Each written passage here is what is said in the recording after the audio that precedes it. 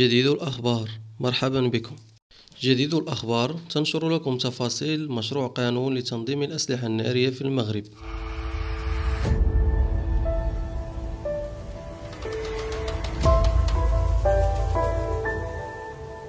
صادق المجلس الحكومي في اجتماعه الأخير على مشروع قانون رقم 21.86 يتعلق بالأسلحة النارية وأجزائها وعناصرها وتوابعها وذخيرتها قدمه السيد وزير الداخلية عبد الوفي الفتيت يأتي هذا المشروع في إطار ملائمة المغرب تشريعاته الداخلية مع الاتفاقيات الدولية المتعلقة بمكافحة جميع أشكال التجار غير المشروع بالأسلحة النارية.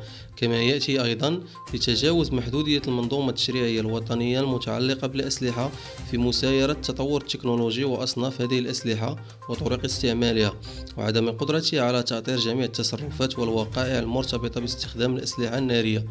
وتسري أحكام هذا القانون على أسلحة القنص والرماية والرياضة من نوع ألف وباء والمسدسات اليدوية المخصصة للأسلحة التقليدية وأسلحة الهواء المضغوط وأسلحة إعطاء انطلاق المنافسات الرياضية.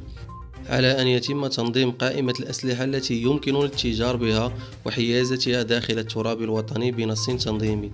ولا تسري أحكام هذا القانون على الأجهزة المكلفة بالدفاع الوطني ومصالح مكلفة بالأمن التي تظل خاضعة لمساطرها الداخلية وأعوان الدولة الذين يحملون السلاح بمقتضى صفتهم أو وظيفتهم ويمنعون مشروع القانون الاتجار بالأسلحة النارية وأجزائها وعناصرها وتوابعها وذخيرتها دون الحصول على إذن مسبق لإحداث مستودع للاتجار أو لتخزين الأسلحة النارية ورخصة الاتجار بالأسلحة النارية والذخيرة. يلزم المشروع تجار الأسلحة بمسك سجلين يقيد في أحدهما عملية دخول وخروج الأسلحة النارية والأجزاء والعناصر والتوابع وفي السجل الآخر عملية دخول وخروج الذخيرة على أن يتم ختمها وترقيمها من قبل الإدارة والاحتفاظ بهما. وبخصوص شروط النقل نص المشروع على خضوع عملية نقل الأسلحة النارية وتوابعها وعناصرها وذخيرتها من لدن تاجر الأسلحة لإذن تسلمه الإدارة.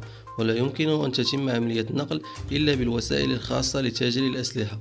كما يمكن للإدارة أن تفرض عملية نقل الأسلحة النارية وأجزائها وعناصرها وتوابعها وذخيرتها بواسطة مصالح الدرك الملكي أو الأمن الوطني على نفقة تاجر الأسلحة.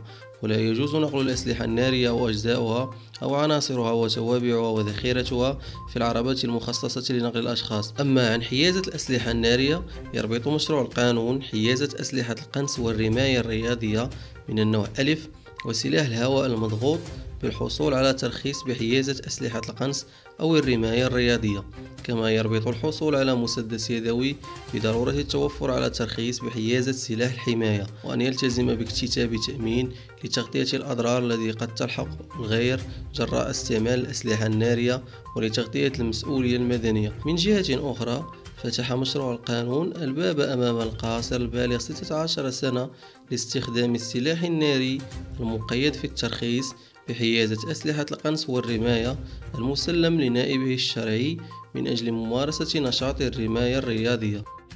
مشاهدينا الأعزاء للمزيد من الأخبار الجديدة والمعلومات المرجو الضغط على زر متابعة أسفل الفيديو وتفعيل الجرس. أيضا ما تبخلوش علينا بالتعاليق ديالكم.